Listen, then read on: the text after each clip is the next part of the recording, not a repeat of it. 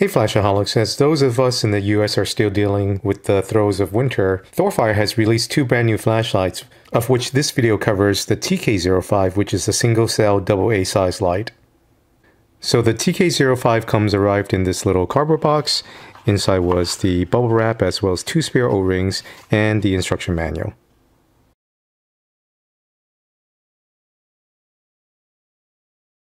So the TK05 bears a pineapple style engraving on its body, which I believe first started with their TK12, although the entire TK line, if I'm not mistaken, actually started with the TK15S, which actually featured a older style, more akin to their TG06 line. Personally, I'm not crazy about the whole TK nomenclature because, well, Fenix uses the entire TK series. I believe currently there are no numbers that overlap between the two manufacturers. However, though, I imagine that that would create some confusion at some point, but I do digress. But getting into the designs and features, right off at the top, the head features a crenellated bezel that is removable. The crenellated bezel holds down a piece of glass that I don't believe is AR coated as I can't see any, nor is it mentioned. And then behind that is a very light orange peel reflector that gives this a very nice smooth beam. The throat of the light features some mild heat fins as well as the electronic side switch. Unlike the TK18, the electronic side switch serves as the sole switch on the light. There is no tail cap mechanical switch. There is a stainless steel cap included. It doesn't really face any particular facade because there is no flat surface, so you can pretty much twist this to your own liking. Given that this clip does rub on the edge of the head here, I advise putting a very light grease here and a thicker grease in the middle tube so that way when you release the tail cap it won't also twist the body as well. On the tail cap side, one end does feature these two attachment holes so you could add a lanyard or a wrist strap although none was included. And although this doesn't have a tail cap switch, there are two tail cap guards here so that way you could use it in relatively stable candlelight mode. In terms of the engraving, there's a hot symbol at the bezel, the manufacturer and the model name here, as well as some various symbols there, and that's pretty much it. The TK05 can be disassembled into three sections. There's the head, there's a tube, as well as the tail cap. Now, the thread is anodized, so that way you can lock it out because there is no electronic lockout on the switch there. And these threads are not the same size, so you can't reverse this. So you can't mount the head on this side, tail cap that side. That's for consideration for those who may want to do a bezel up carry because tail clip only mounts onto the tail inside. So that way it's always going to have to be bezel down. Pairing beneath the head, this is interesting. That actually looks like a physical reverse battery protection. However, though, I did discover that with a flat top cell like this Windy Fire, I was still able to utilize it that way. So I think it's really more formal with the function. I don't think it really serves that purpose as a anti-reverse battery protection. Now this light does have limitations in terms of the cells that it can accept, meaning the total length. So diameter wise, I think the beefiest one is like this old Powerex uh, 2700 cell. That fits no problem at all. And of course your standard Eneloops, which are skinnier. Um, slight tight fit, but it fits. Now the length is where it runs into problem. So this KeepPower one protector cell is pretty long. And as you can see there, it peers just past the tail cap tube now, the problem with that is that normally other lights, there's usually a retention ring that sticks out further so that way it can still mate despite the thread. However, though, this one is just purely flat, so any cell that sticks past the end of this tube will not work. In terms of measurement, the longest cell, check out this caption right here.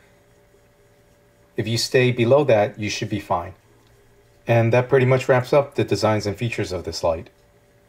In terms of the overall size, here's how it stacks up with its contemporaries, although there are some old lights like this antique Fenix LD10 there. But anyway, the light names are there, but as you can see, owing to the size switch, it does cut out some of the room for the tail cap switch, so thus it does rank on the smaller side, although not as short as say Manker's E11 or the T01, which is actually a turbo head size light.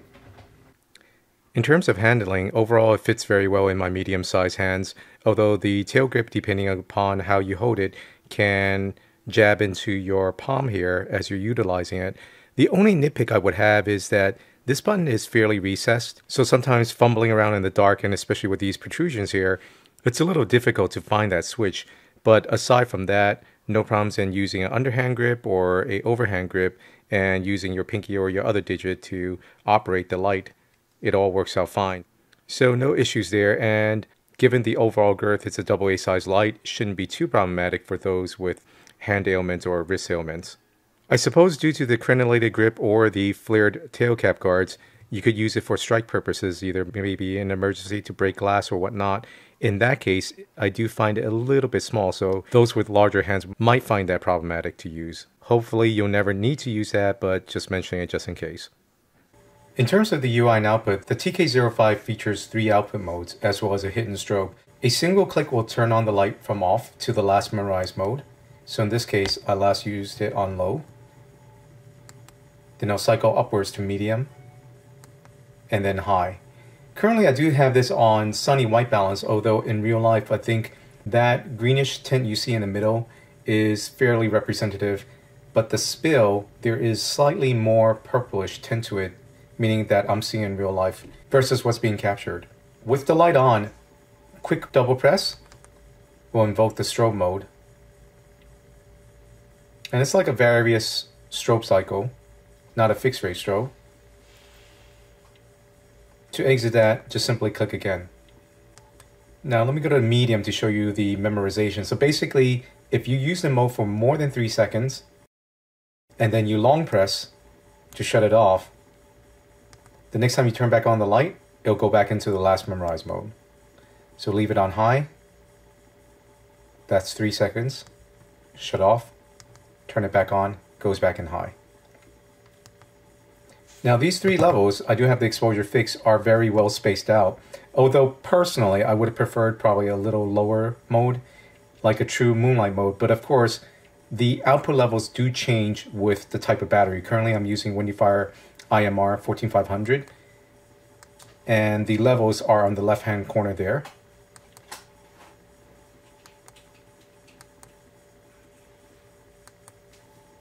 And now I've switched over to Eneloop to show you the respective output levels.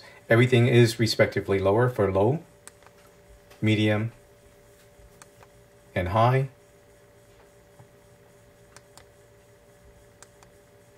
With the respective lumens stated in the left corner there.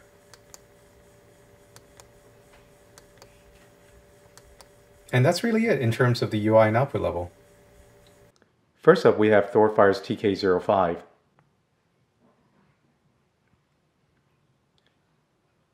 Thorfire normally doesn't publish any throw figures, so pretty much I'm going on my measurements here on my NIST calibrated meter.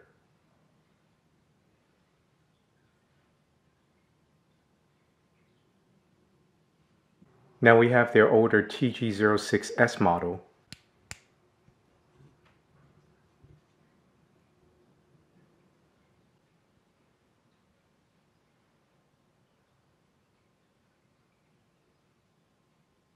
So here we have the throw summary. Although I only measured these two lines, I figure I'd throw in the Manker's E11 because it's comparable. These were both running on the WindyFire IMRs.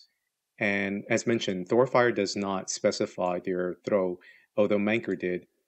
Herein we can see the difference. The TK05 has a new generation emitter and paired with a light orange peel reflector, so despite having a slightly higher output, it kept fairly well in terms of not having a smooth reflector nor a deeper one in terms of the older generation TG06S. Ultimately, I measured 254 lux max at 30 seconds, translates to just about 4000 CD, and 127 meter beam distance. All of these were measured at 67 degrees F. The TG06S slightly better at 266 lux, 4256 candela, and 130 meter beam distance, and then last but not least, the E11 with the XPL, so favoring higher output versus throw, and paired with the orange peel reflector gets 190 lux, just a tick over 3000 candela, and 110 meter beam distance. Overall, not too shabby for a AA size light. In terms of the beam angle, the overall spill is roughly about 70 degrees, with the hotspot roughly about 20 degrees, perhaps a little bit wider but it does have a very smooth center beam because of that light orange peel reflector. And here you can see the beam side by side with the TG06S. As you can see, the 06S definitely has a much tighter and defined hotspot versus a very smoother beam of the TK05. Now, I'm pretty sure you're noticing that flickering there, and this is why, again, I am so glad that they utilize a new driver that gets rid of this PWM effect. And here again, you can see kind of like the emphasis of the hotspot to spill ratio effect. The TG06S does have a overall wider beam versus the TK05. So here we get some street beam shots.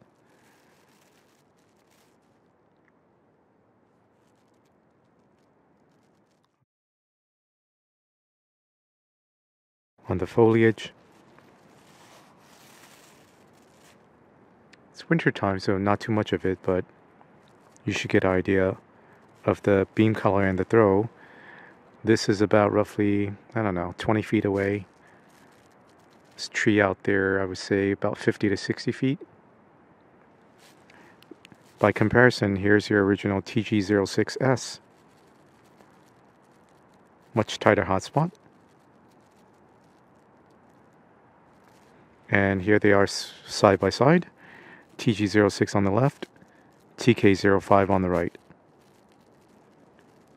TG06S on the foliage, TK05,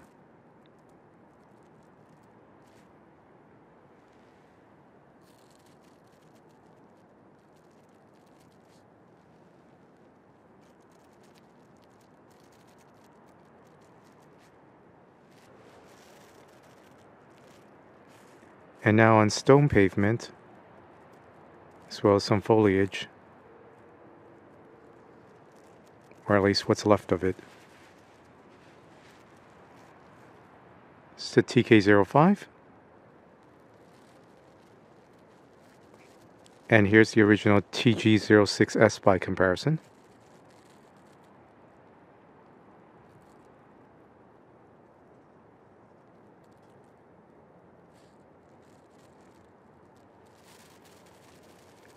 Kind of side by side TG06 here, TK05 here, swapped around,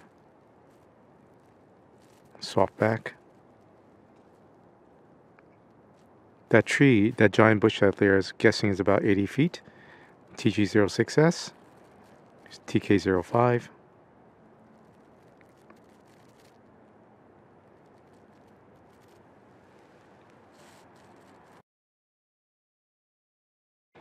TG06S.